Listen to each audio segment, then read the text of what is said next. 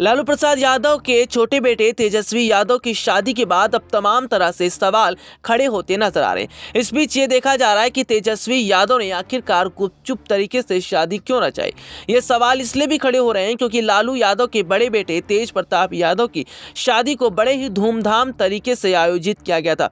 बड़े ही धूमधाम तरीके से कई बड़े राजनीतिक पार्टी के नेताओं को भी आमंत्रण भेजा गया था। लेकिन इस बीच अगर देखा जाए तो बहुत बड़े हद तक तेजस्वी यादव की शादी में सादगी दिखाई दिया और बहुत कम लोगों को आमंत्रित किया गया।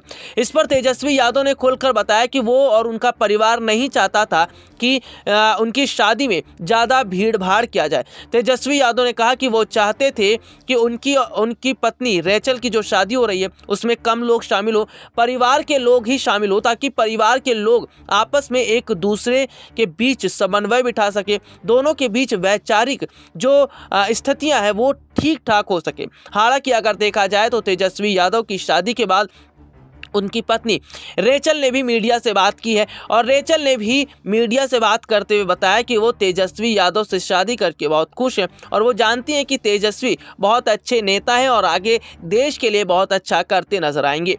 एस पी न्यूज़ रूम की रिपोर्ट।